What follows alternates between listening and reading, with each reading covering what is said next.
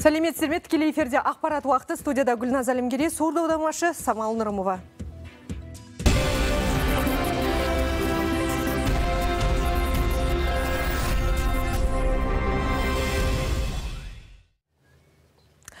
Сайлаудың үгіт насихат кезеңіндегі партиялар бәсекесі, жеке кандидаттардың пікір таластары, түрлі креативтер бұл жолғы доданың саяси көрігін қыздырды. Қоғам ішінен қайнап шыққан әртүрлі саяси көзқарастар мен ұстанымдар жаңа саяси мәдениет қалыптастырып, бірте-бірте парламентті плюрализм мінберіне айналдыратыны сөзсіз. Партиялық тізіммен қоса жеке мандатты округтерге 30 пайыздық орын беретін аралас сайлау жүйесінің басты мақсаты да сол. Иә, бір мандатты округтерге кандидатты саяси партиялар мен қоғамдық бірлестіктер ұсынады, немесе үміткер өзін өзі ұсынады. Бір мандатты аймақтық округтер бойынша сайланатын кандидаттар да әр аймақтағы дауыс беру учаскелеріне келіп таңдау жасады. Науқанға бұл жүйемен Аманат партиясының 29 мүшесі, Ақжол партиясының 24 мүшесі, Қазақстан халқы партиясының 15, ауыл партиясының 9 мүшесі қатысады. Сондай-ақ ЖСДП-ның 6 мүшесі мен Байтақ партиясының 4 мүшесі де бір мандаттыққа үміткер. Бұдан бөлек өзін өзі ұсынған кандидаттар да дауыс беріп үлгерді.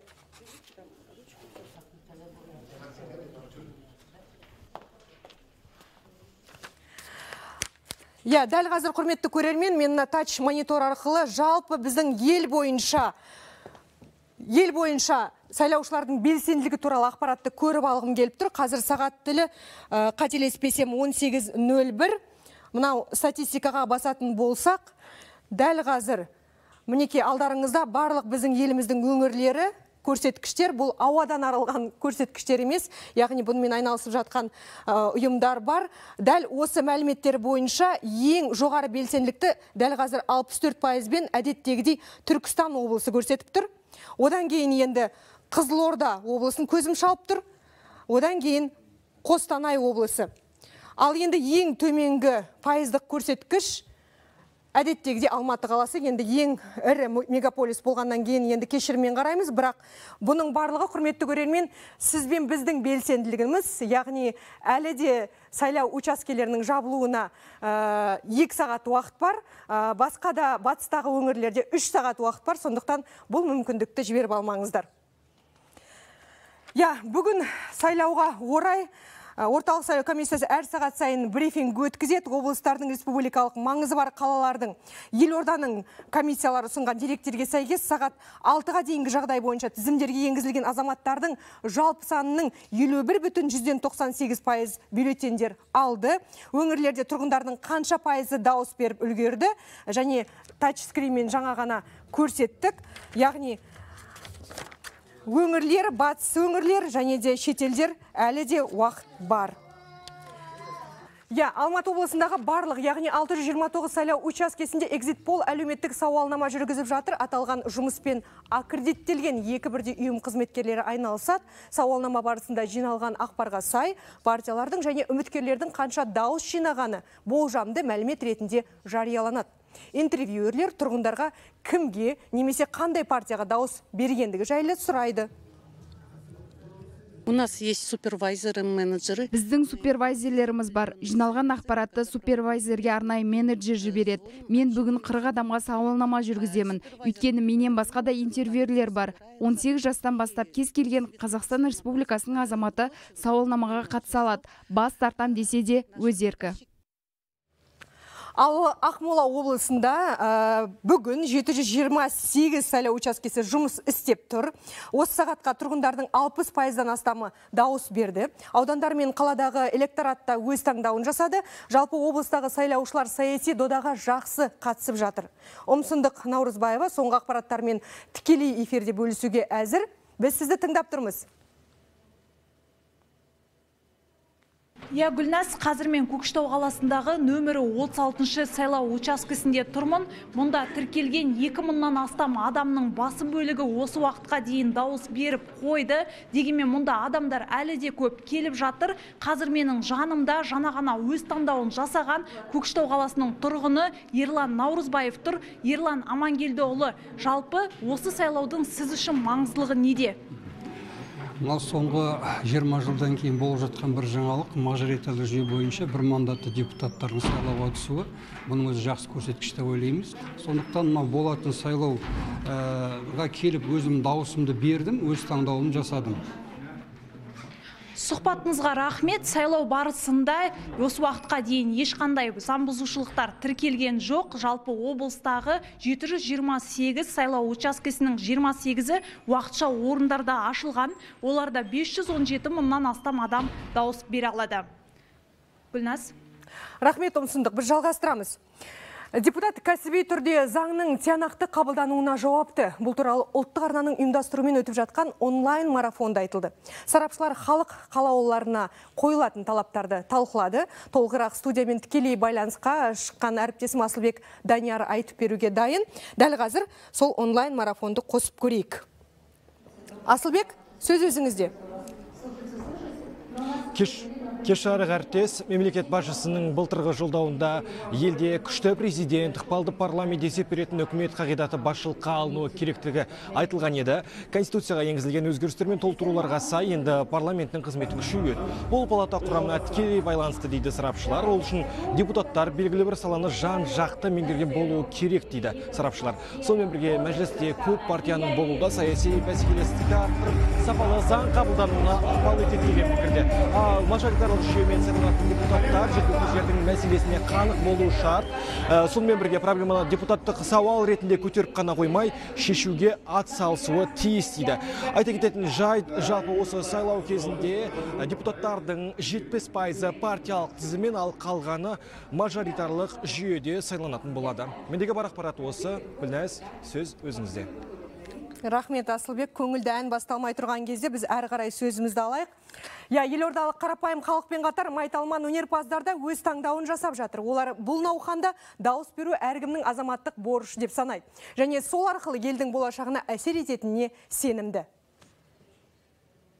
Елордадағы 65-ші мектепте орналасқан 348-ші сайлау учаскесіне ағылған халықтың қарасы қалың. Дауыс беруге келгендерге қызмет көрсетіліп жеке деректері мұқият тексеріліп жатыр. Азаматтар бұл саяси науқанда белсенділік таныту әркімнің борышы деп білетінін айтады. Сонымен қатар ел ертеңіне әсер ететін шешімдерді қабылдауға ат салысуға тырысады. Көп балалы ана ләззат қалимова да дауыс беруге отбасымен келген. Қызымыз екеуміз осында дауыс беруге келдік. Бұл әр, әрине әр азаматтың өзінің борышы парызы деп есептеймін. Алдағы болашақтағы біздің еліміздің болашағы балаларымыздың болашағы деп сол себепті саналы түрде өзім дауысымды бердім. Астана қаласы музыкалық жас көрермен театрының директоры асхат майемиров та көппен бірге өз таңдауын жасауға келді. Ол әрбір азаматтың дауысы маңызды деп санайды. Өйткені кез келген адамның үні естілу керек. Осылайша ортақ шешім қабылданып болашаққа бағдар жасалады. Ет жүрегі отан деп соққан ел деп соққан әрбір азамат сайлауға келіп сайлауға қатысып өзінің дауысын есту керек. Себебі әрбір азаматтың дауысы ол мемлекеттің дамуының бір бейнесі болмысы. Сондықтан сайлау адамдарға жалпы азаматтық қоғамға мемлекетке осындай үлкен жауапкершіліктер жүктейді. Бүгін астанада 416 сайлау учаскесі жұмыс істеп тұр. Ал ел бойынша 12 мыңнан астам учаске қызмет етеді. Дауыс берушілер саны 12 миллион шамасында. Серік селеубайұлы жанболат қобдабай қазақстан ұлттық арнасы астана. Сайлау процесі заңға сай әрі ашық өтуде. Ең бастысы ешкімге ешқандай кедергі жасалып жатқан жоқ. Дауыс қоғамдық байқаушылар коалициясының төрағасы төлеген Құнәділов осылай деп мәлімдеді. Бұл қоғамдық ұйым осы жолғы мәжіліс және мәслихаттардың жаңа форматтағы сайлау науқанына тиянақты дайындықпен келген. Елдегі 9790 сайлау учаскесіндегі ахуалды назарда ұстауға 18 мың адамды байқаушылыққа үйреткен. Осы мақсатта 600-ден астам іс шара сабақ өткізілген. Байқаушыларымыздың баршасы заңға қайшы әрекетке жол бермейтін қырағы қыз жігіттер дейді. барлық өңірлерімізде ахуалдық орталықтар ашылған болатын сол жерде сол орталыққа өңірлердегі жер жердегі сайлау учаскелерінен байқаушыларымыздан нақты режим уақытында ақпараттар келіп түсіп отыр қазіргі таңда қолдағы мәлімет бойынша сайлау учаскелеріндегі үрдіс жалпы жақсы өтіп жатыр. Халықтың саны өте көп. Көтеріңкі көңіл күйде келіп жатқан байқаушыларымыз байқап жатыр. Ендігі мынау қазіргі таңда мынау заңдың ашық және жария әділ өтуіне әсер ететін заң бұзушылықтар тіркелген жоқ. Бүгінгі саяси шарада жастардың белсенділігі әдеттегідей өте жоғары. Олардың көбі таңмен таласа тұрып, осы уақытқа дейін өз таңдауын жасап үлгерген. Дегенмен сайлау учаскелеріне адамдар әлі де келіп жатыр.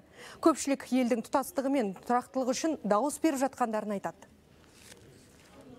биылғы сайлау бұрынғы сайлаулардан өзгерек деп ойлаймын себебі қаншама партия және де мажоритарлық жүйемен өтіп жатыр бұл ә, біз үшін үлкен өзгерістерге үлкен әлеуметтік экономикалық және саяси өзгерістерге апарады деп ойлаймын.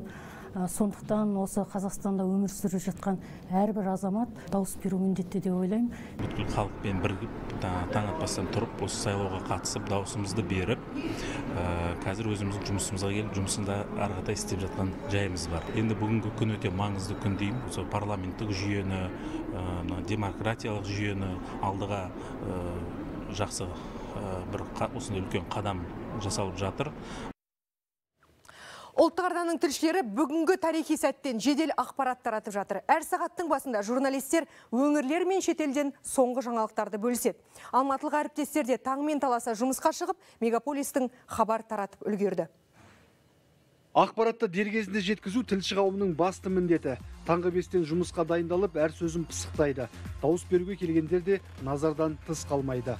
Және де біздің арамызда бүгін алғашқы болып дауыс берген біздің тұрғындарымыз бар екен сәлеметсіз бе болады Тілшілер бір күнде бірнеше сайлау учаскесін аралады. Дауыс берушілермен тілдесіп науқанның қалай өтіп жатқанын сұрады. Маңызды ақпараттарды дер кезінде баяндап, тікелей эфирге қосылып жатыр. әріптес біз қазір қаладағы нөмірі екі жүз елу жетінші сайлау учаскесінде тұрмыз Түсірілім тобы Алматы облысының орталығы Қонаев қаласынан да хабар таратуда. Әріптесіміз Нұрсұлтан Тілектес қала тұрғындары бұл күнді барынша есте қаларлықтай өткізуге атсалысып жатқанын айтады. Шаһардың құрметті азаматтары бастаған ақ жаулықты әжелер ретро көліктермен қала көшелерімен жүріп өтті. Қуан Нұрақын, Ержан Жаңбырбай, Қазақстан ұлттық телеарнасы. Алматылықтардың әлде де төмен көрсеткішті көтеруге мүмкіндіктері бар. Сайлау учаскелеріне асығыңыздар, құрметті біздің көрермен. Алдағы сағаттарда жаңалық күтіңіздер, эфирде жүздескенше.